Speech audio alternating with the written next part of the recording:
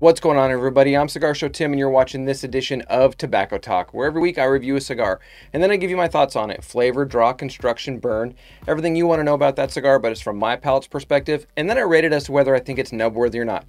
Well, based on the hat and the title, I'm going to be reviewing a cigar that comes from uh, Corona Cigar Company, Jeff Borysiewicz, with FSG tobacco in it. So this week's cigar I uh, happened to pick up uh, and get from my good friend Cigar Prop, Kevin Shahan. And it is uh, one of three new releases that Jeff Borysiewicz has put out as part of his 25th anniversary celebration for Corona Cigar Company. So the review right now is going to be on the Corona Cigar Company 25th anniversary shade. This is the Robusto size. That's the cigar right there. You can see the 25th anniversary band right there on it. But Let's see how it is, because I'm a mild cigar smoker, mild plus to a medium plus. This is a shade wrapper. I'll get more into the blend in just a couple minutes here, but we got to see what it's all about. So you know there's only one thing left to do. Let's light it up.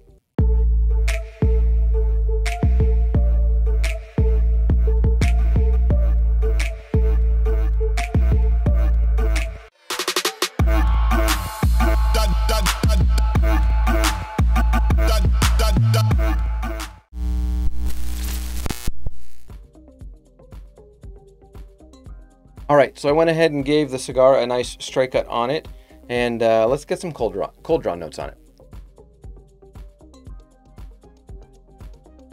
Ooh, like a caramel honey sweetness. A really light bready note. And just creaminess.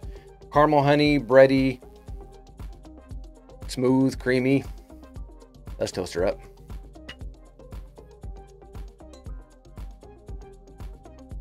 Okay, upon initial light up, got a little bit of like a, a tangy flavor note in my mouth. And that's going to be caused by the, the, the blend on this is it's an Ecuadorian shade wrapper. It's an FSG Corojo binder and then Nicaraguan fillers. But there's that Corojo tang and the binder that I'm picking up with some real light breadiness and creaminess.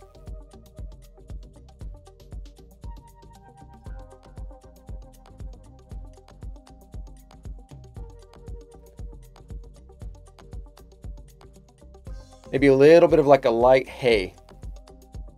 Light hay note on there. All right, I'm gonna travel down the road of a 25th anniversary. Let's see how the first third goes.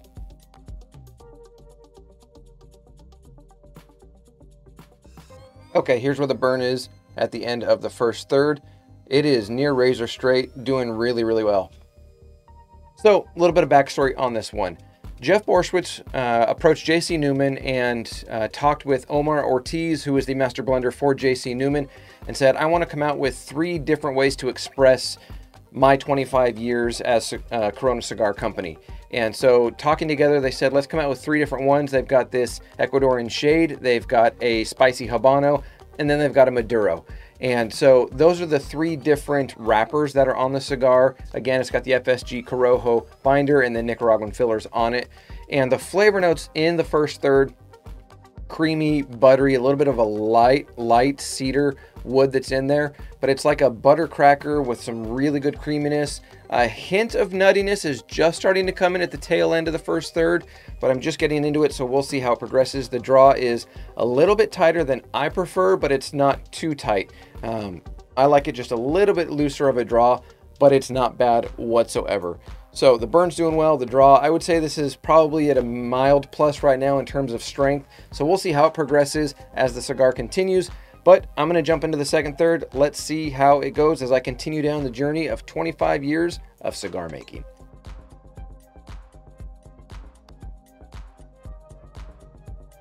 All right, there's where the burn is at the end of the second third. Little bit of a wave to it, but overall, not doing too shabby. Still staying pretty straight. It did get a little bit off, but it corrected itself and did really well. So flavor notes in the second third that butter cracker is still there, very creamy. There's a nuttiness that came in, which is really nice because everybody knows if you've watched me for any amount of time, I love a good nutty flavor note in a cigar. but buttery creaminess, just smooth cigar with that nutty note that's in there. And there's a little bit of a light grassy hay that's in there as well. There's a baking spice that's in there that I can't quite put my finger on, maybe more of a nutmeg. It's not a cinnamon spice, nothing like that at all.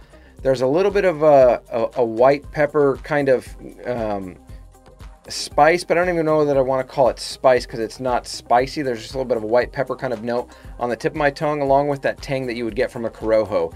It's not tangy like you would get um, from a Candela wrapper, but there is that Corojo um, trademark signature tang that is in there from the binder uh, that is an FSG Corojo uh, binder that's on this cigar. So it's done really well. The draw has loosened up a little bit more. It's getting really close to where I like the draw for my cigars. So it's it's getting even better as the cigar progresses. Smoke output is doing really well. It's a, a good creamy smoke output. It's not tons of smoke, but it's a good creamy smoke output. It's not very, it's not super thin. And so that's what's gone on in the second third of the cigar.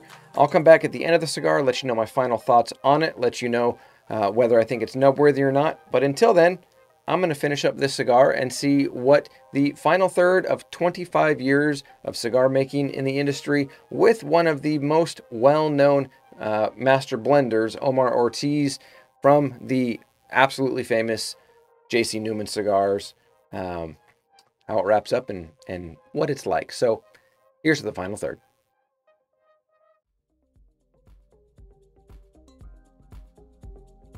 All right, wrapping up this review.